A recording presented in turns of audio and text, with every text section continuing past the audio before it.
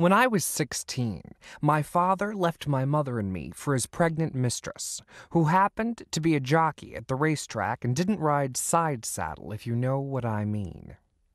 After Daddy left, Mother spent a few weeks in bed, drinking Smirnoff out of Evian bottles, before waging a campaign to win a new rich husband.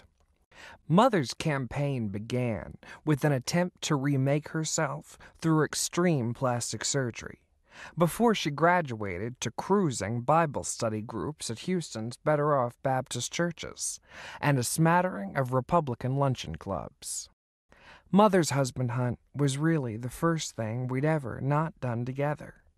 Man trapping, it seemed, was a solo gig. I tried to be grateful to Mother. After all, she was rather desperately attempting to reclaim the life to which we'd both grown accustomed.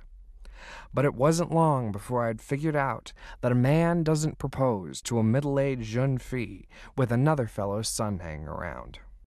By this time, I was 17, and adulthood was not all that I'd imagined. However, there's the saying about God closing doors and opening windows, and after what felt like the disappearance of both my father and mother, my window came in the form of musical theater. In the fall of 1996, I was recommended for a community theater production of West Side Story. I played Tony. I was terrible. But I fell in love, first off and finally, with Michael Leleux. And that was that. And this is my story, the memoirs of a beautiful boy.